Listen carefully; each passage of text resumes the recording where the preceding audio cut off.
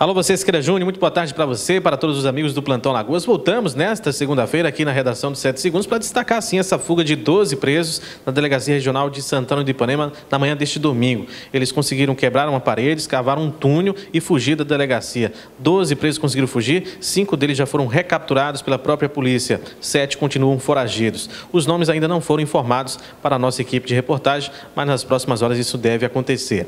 Bom, outros casos que aconteceram aqui no Agreste foram o assassinato de duas duas mulheres, elas foram brutalmente executadas dentro de uma casa em Teotônio Vilela, no Parque do Futuro 2. As duas estavam nessa residência quando os quatro homens fortemente armados invadiram a casa à procura de drogas. Como elas negaram que havia esse tipo de mercadoria no local, elas foram levadas para a parte externa da casa e executadas a tiros com disparos na cabeça. As duas mulheres que foram identificadas foram removidas aqui para o ML de Arapiraca. Bom, e para finalizar as últimas informações, contabilizamos sete assassinatos na região metropolitana do Agreste, mas para resumir, dois, principalmente aqui em Arapiraca, nesse final de semana. Esse jovem foi executado a tiros na porta da casa dele, no bairro de Canafístula, no conjunto Frei Damião, periferia aqui da cidade. O nome dele era José Leonardo de Souza Queiroz.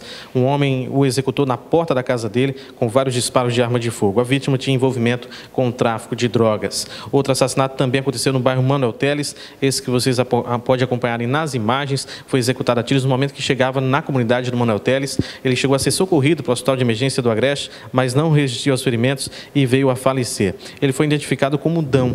O seu corpo foi removido para o ML também aqui de Arapiraca. São com essas informações finalizamos nossa participação de hoje aqui dentro do plantão. Para mais informações, acesse 7segundos.com.br. Agora segue com você, Siqueira Júnior.